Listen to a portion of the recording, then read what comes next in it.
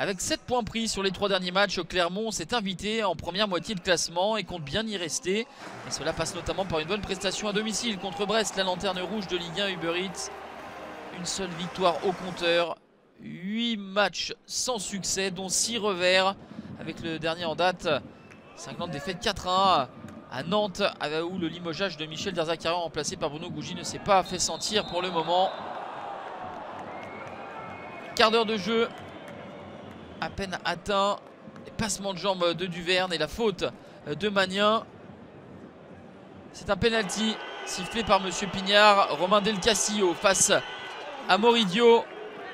C'est l'ancien joueur euh, du Stade Rennais formé à Lyon euh, qui euh, prend le meilleur sur le gardien clermontois. Ça fait 1-0 pour la formation dirigée par Bruno Gougy et Julien Lachuer.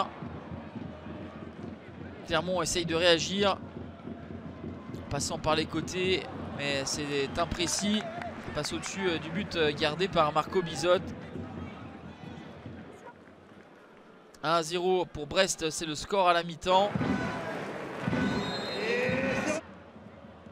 Et les Brestois qui euh, fait le plus dur en marquant en premier et qui exploitent les euh, ballons de transition. Celui-ci est remarquable. La passe de Del Castillo euh, pour euh, Franck Honora à la 52e minute. Ça fait 2 à 0 pour le stade brestois. Deuxième but de la saison pour Franck Honora qui a une joie toute mesurée. Lui qui a porté durant deux saisons le maillot du Clermont Foot en Ligue 2 BKT. Clermont essaye encore mais c'est imprécis on ne retrouve pas la même fluidité, la même grinta des hommes de Pascal Gastien qui leur avait permis euh, de performer sur les dernières semaines. Brest est dans sa rencontre, le scénario est parfait et les contre-attaques rondement bien menées. Encore une fois, le renversement jusqu'à Romain Del Castillo, le soyeux extérieur du pied gauche pour trouver la tête de Le Doiron. 3-0 à la 67e minute. Troisième but de la saison pour euh, le Doiron. Et au passage, superbe partie de Del Castillo. Un but et deux passes décisives. Celle-ci est sublime.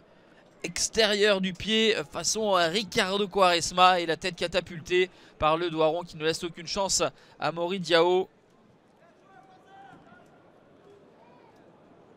Les Clermontois complètement euh, apathiques mais qui vont euh, inscrire un but pour rendre euh, la défaite un petit peu moins amère. Jim Alevina qui combine avec Mohamed Cham.